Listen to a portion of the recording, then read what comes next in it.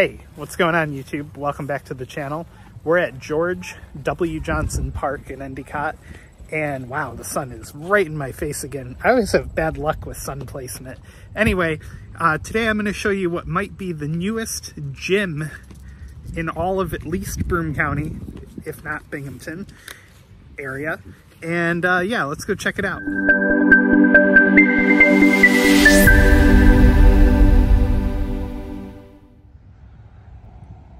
So right over here we have Davis Field and then more baseball fields and the IBM complex down there.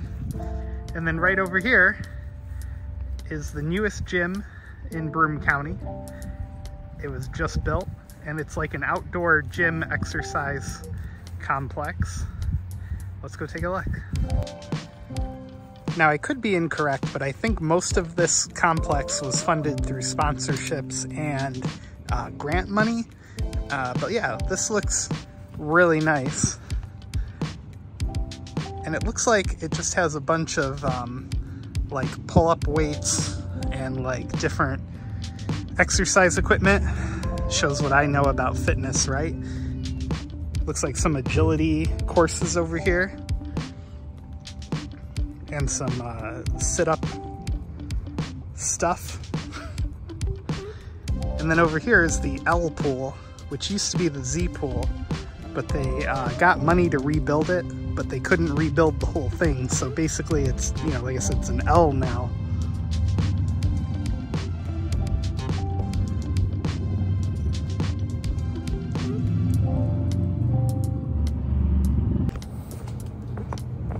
All right, let's see if I can do some pull-ups.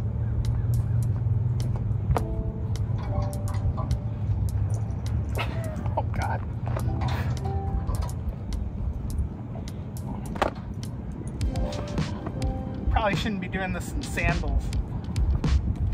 Oh, oh here's a pull-up bar.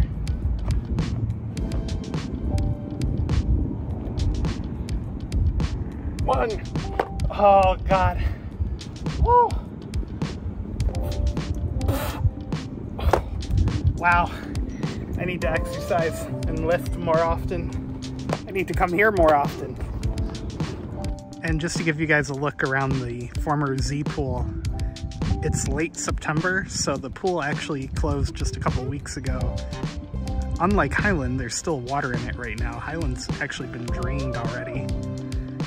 But yeah, this is like the shallow end, and I'll walk around and give you guys a view of the current deep end and the former deep end. And if you're wondering uh, what it costs to swim here, Looks like children are 50 cents, adults 75, and you can have a season pass for $30. Maximum capacity 163. And it looks like it closes at 7 o'clock, 12 to 7, Monday through Friday and Saturday. Although I think recently it's been closed a lot more often uh, with staffing shortages and things like that, but I could be wrong there. So if we come down this way,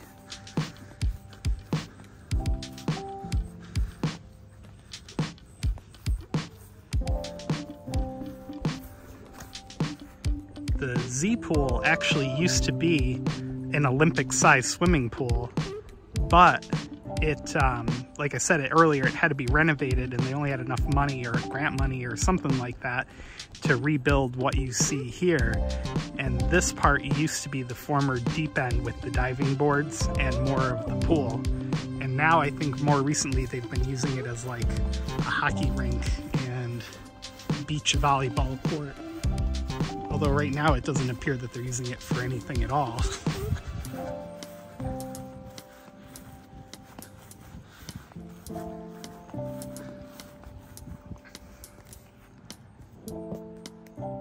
In fact, this uh, this pathway you see here used to actually have, the pool would be right up against it.